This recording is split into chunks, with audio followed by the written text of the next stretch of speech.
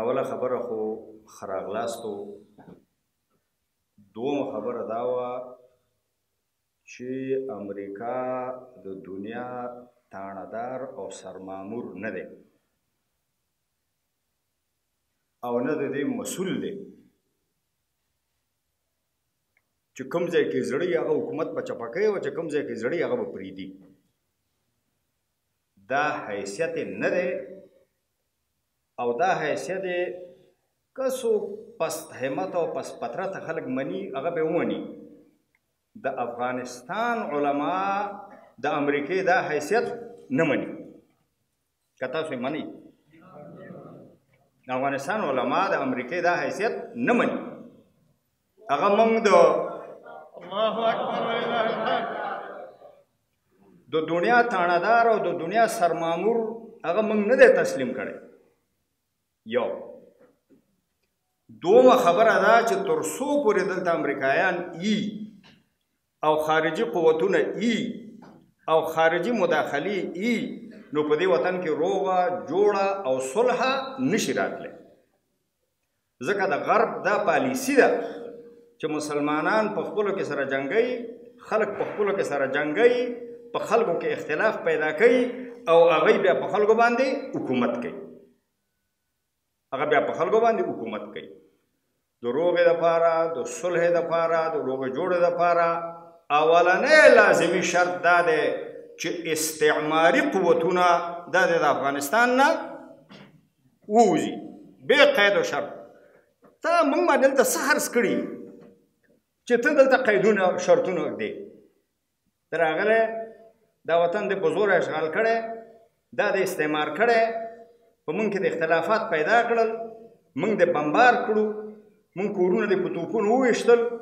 زمونږ علما دې قتل کړل زمونږ بهتر خلک نه د مابوسونه او جیلونه ډک کړل بد اخلاقی او بی حیايي د زمونږ مملکت کې ترویج کړه بی دینی دلته تشویق کړه دا ټول اسیبونه او ضررونه تا مونږ ته ورسول او تله پکې اوس شرطونه دی چې زه په دې شرط باندې وزم او زه په دې شرط باندې وزم ته د وو سمندرون نه اخوا راغلی ستا په دې وطن کې حق نشته دا ارمان د انګلیسانو مو دا ارمان د روسانو مو او دا ارمان د هر چا او چا چې افغانان ته سپک کتلی او د دوی په خاور او غیرت دین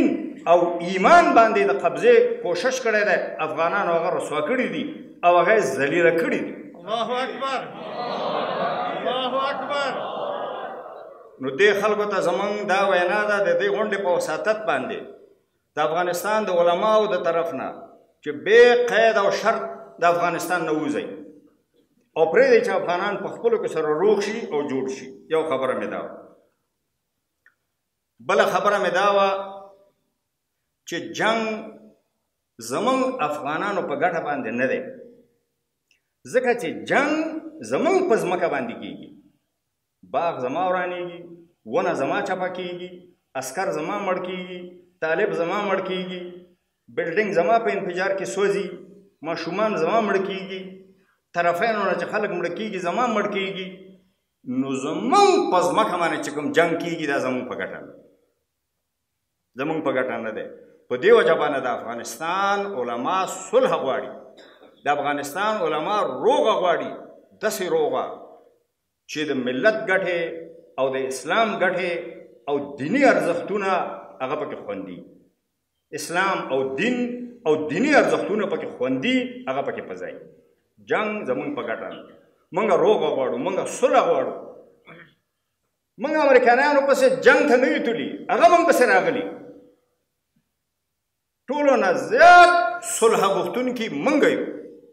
ته مونږ پسې راغلی مونږ خو تا پسې نه راغلی جنګ ته ځه دلته خپل نور جنګ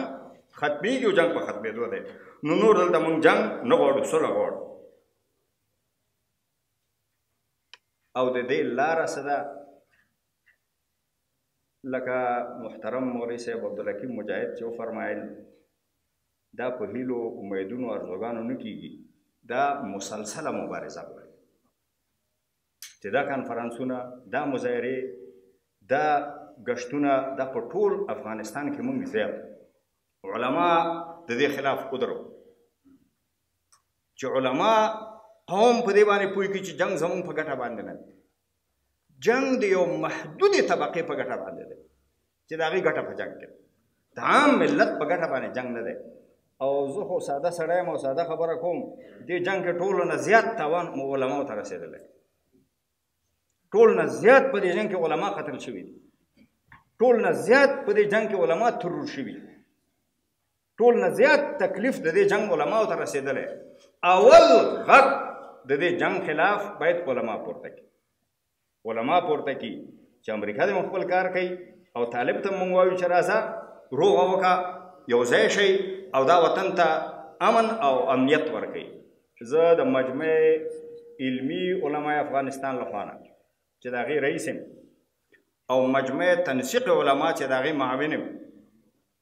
او د جمعیت اصلاح د مرکزی شورا غړی هم د درې وړو لخوانه بلیغ صاحب ناس دی ان شاء الله هغه موافق دی او ډاکټر صاحب ایاز نظیم ناس دی هغه ان شاء الله موافق دی موږ به دا مبارزه جاری ساتو دا مبارزه به جاری ساتو د ملت د بیداری دا تحریک به ان شاء الله جاری ساتو او ځای په ځای به غونډې هم کوو جماعتونو ته به هم ځو دا یو میاشت مخکې موږ کابل کې یو سل شل جماعتونو کې خطبې وکړې یو سل شل جماعتونو کې دروغې د پاره چې ملت کې یو بیداری پیدا شي بیا هم زه ستاسو ټول نه تشکر کوم چې تاسو تشریف راوړو او خپل قیمتي وخت هم مونږ ته راکړ د مدرسو د درس تدریس وخت هم راکړ خو دا هم انشاءالله چې یو ملي موضوع ده یو اسلامي موضوع ده او دې کې به انشاءالله مونږ په شریکه سره کار کوو والسلام علیکم ورحمت الله